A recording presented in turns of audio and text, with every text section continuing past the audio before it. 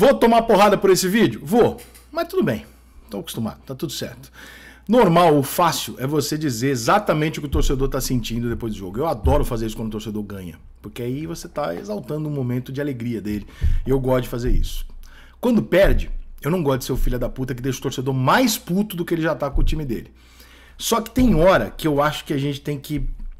É, não vou dizer, seria arrogante dizer que equilibrar as coisas, mas tentar dar uma outra visão, talvez, pro torcedor.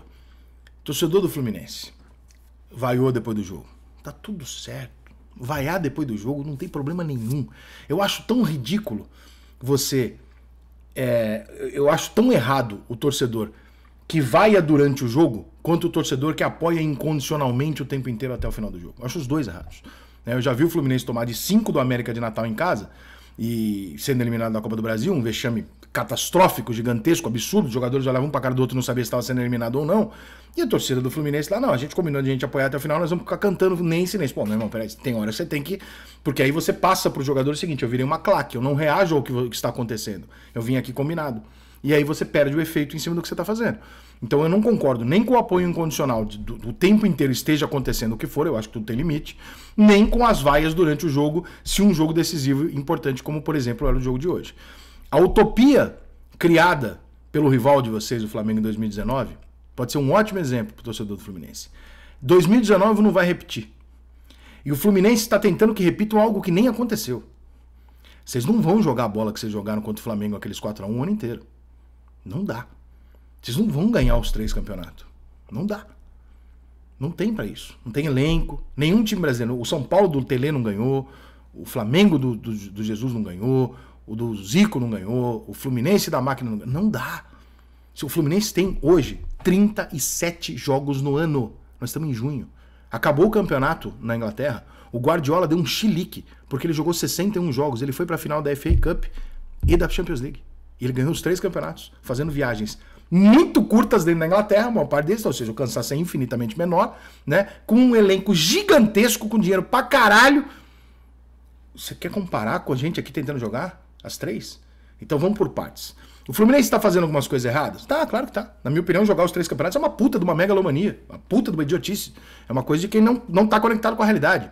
A realidade é, escolhe que é algo que o Renato Gaúcho cansou de fazer no Grêmio, tomava porrada, mas funcionava, falando assim, eu vou jogar a Copa do Brasil e Libertadores. E o brasileiro, vou ficar em décimo. Ah, mas vai abrir mão. Vai, vai abrir mão. Brigou no Flamengo e saiu do Flamengo, porque disse pra diretoria do Flamengo, não dá para jogar os três. A diretoria do Flamengo falou, eu quero os três. Ficou sem nenhum. E o Fluminense está tentando jogar três campeonatos. Agora é só dois. Só que os 37 jogos já foram jogados, irmão. Então, mesmo que você já esteja eliminado da Copa do Brasil, você já jogou até aqui. O cansaço é o mesmo. E você não tem um elenco do caralho. Você tem alguns jogadores veteranos, você tem um Paulo Henrique Gans, você tem um Marcelo, você tem um Fábio, você tem um Felipe Melo. Você não tem um time que você é capaz. Até o Cano, que não é um garoto. Você não tem um time que você é capaz de trocar as peças é, dessa maneira e fazer viagens gigantescas, etc. E achar que você vai jogar os três campeonatos numa boa. É óbvio que vai pesar. O pico físico do Fluminense, que eu cansei de falar aqui no primeiro semestre, falei, cara, é incrível, eu acho incrível, eu tô apaixonado pelo Fluminense jogando. Amo o que o Diniz faz. Mas esse pico físico em maio, isso eu nunca vi na minha vida. Eu nunca vi um time jogar o máximo que ele pode em maio e manter até dezembro. Nunca vi e não vou ver. Porque não dá pra você atingir aquele. O Fluminense jogou o fino do fino da bola, o limite do que ele pode jogar, muito cedo. Então vai ter uma oscilação. Então eu não sou o cara que acha que você não pode vaiar no estádio. O que eu não consigo é ver torcedor do Fluminense tratar o Fluminense como crise. Isso eu não consigo ver. Você está... Quem é que ganha Libertadores na molezinha, irmão? Quem que ganha Libertadores na moleza? Fala pra mim, historicamente. E aqui, aqui vou, vou escroto, eu sou São Paulino, tenho seis finais dessa porra, eu brinco de jogar Libertadores. Desde o dia que eu nasci, eu vou pro estádio ver Libertadores. Não tem moleza, irmão. Fui campeão empatando com o Olímpia, ganhando nos pênaltis, apertado contra o Criciúma. Time do Tele. Não tem moleza, cara. Libertadores tem jogo difícil. Mesmo que o adversário seja fraco, tem jogo que é um perrengue do caralho. O Fluminense não tá conseguindo jogar o que ele pode? Não, não tá. Com certeza tem algum motivo. Não trocou o técnico, não trocou a filosofia de jogo e não trocou os jogadores. Então só pode ser algum cansaço ou alguma mudança feita em virtude de uma substituição ou outra que, por contusão, desequilibrou o elenco do Fluminense. Eu aposto no cansaço. Acho que o Fluminense está fazendo uma curva normal de reajuste para subir no final da temporada. Meu palpite, eu não tenho essa informação para te falar que é isso ou não. É palpite meu. Você quer ficar chateado? Claro, o Fluminense jogou mal. Você quer vaiar no final do jogo? Normal. Agora, protestinho que nem teve outro dia no CT. Nego falando em crise. Torcedor do Fluminense saindo do jogo falando que vergonha! Desculpa, mas que horas que o Fluminense foi comprado por um grupo árabe e contratou 74 jogadores de 70 milhões de dólares? Que horas foi que no final do ano passado tinha torcedor do Fluminense aqui falando assim, não, que eu sou favorito a Libertadores? Eu, que horas que aconteceu isso? Porque até onde eu sei, o que o Fluminense está te entregando hoje, e aqui fala um cara que não gosta do presidente do clube, então não tenho porquê né, puxar sardinha, ele está te entregando mais do que você esperava. E não é de hoje, hein? Nos últimos anos. O Fluminense está entregando para você, torcedor, mais do que você esperava no começo do ano, todo ano. Crise. Porra. Vai tratar com sintomas de preocupação como se fosse alguma coisa. Porque vocês estão dando tudo que a imprensa quer, tá? A imprensa tá lá, que nem um urubuzinho, esperando. Na hora que a carniça cair no chão, eu vou voar em cima, eu vou afundar o Fluminense da crise. Você sabe que é assim que a banda toca. Vocês estão dando para ela. Vocês estão dando pros abutres. Para quem não é. Para quem não tá interessado em crise, para quem vive de crise de clube, tem muita gente da mídia que vive disso. Vocês estão dando isso pra eles. E é o que eles fazem com o Flamengo o tempo inteiro. O Flamengo perde dois jogos, a torcida do Flamengo reage desse jeito, eles pegam o Flamengo e jogam o Flamengo na lama. Por quê? Porque duas derrotas é o fim do planeta. Vocês estão dando a mesma coisa. O Fluminense não tá legal? Vamos vaiar, vaiamos hoje e tal.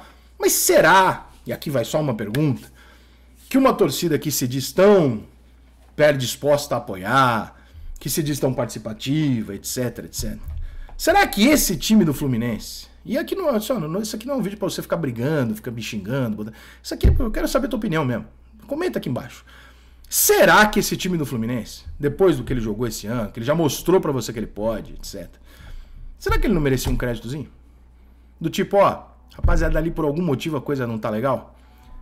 Vamos agora ver, vamos agora inverter o jogo. Em vez da gente cobrar, agora a gente vai cantar, a gente vai empurrar mais alto. Nós vamos cantar mais alto do que a gente estava cantando, porque agora eles precisam da gente porque a coisa não está funcionando, então agora eles precisam da gente.